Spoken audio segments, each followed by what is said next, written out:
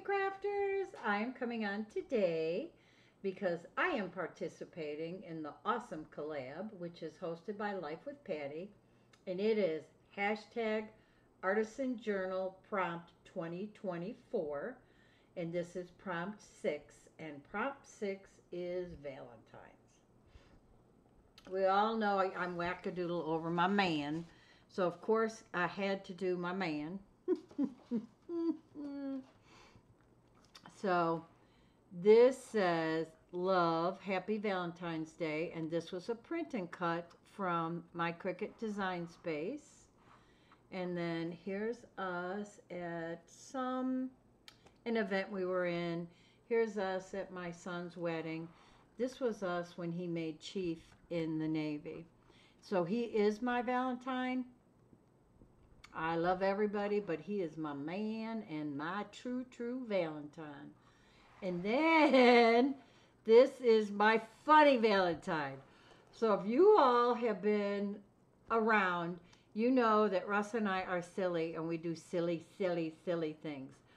This was a party. I don't know. You can see the picture got a little weird.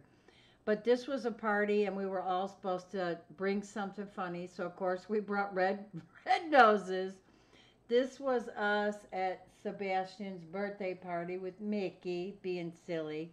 And then this was us um, hanging out at my daddy's pool. So he is my funny Valentine. I love him to pieces. And this is us being serious. You know, that's the thing about um, life.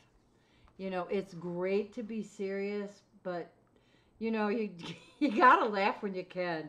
You know, especially I think um, for me, especially as I get older, if I can't laugh once a day, woo, I'm in trouble.